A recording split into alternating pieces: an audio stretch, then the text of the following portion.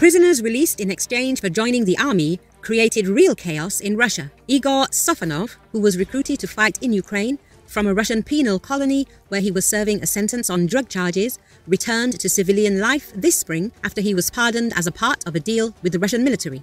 Sofonov's acquaintances told the Moscow Times that his military service had changed him for the better. But his time out of prison and the army would not last long.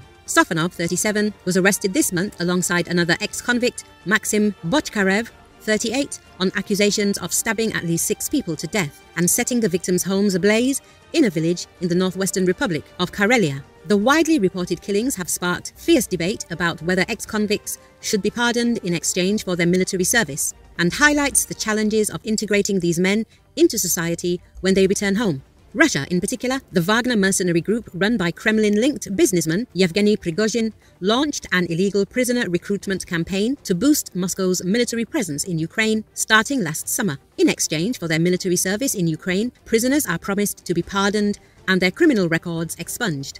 According to leading prisoners' rights activist Olga Romanova, the total number of convicts recruited for the war could be up to 80,000 in total, with at least 20,000 ex-convicts from Wagner already returned to civil life. Another Wagner fighter, Ivan Rossomakhin, who was serving 14 years in jail for murder and robbery, was freed this spring after fighting in Ukraine, commuting his sentence by 10 years. In March, he was arrested on suspicion of killing an 85-year-old pensioner in the Kirov region village of Novy Burets. Residents from other Russian regions where ex-prisoners are returning from the front line have also voiced fears about the potential impact of freed convicts. Meanwhile, Russia continues its efforts to recruit prisoners for the war, activists warn. It opened a Pandora's box that will have an impact on generations to come, Romanova said.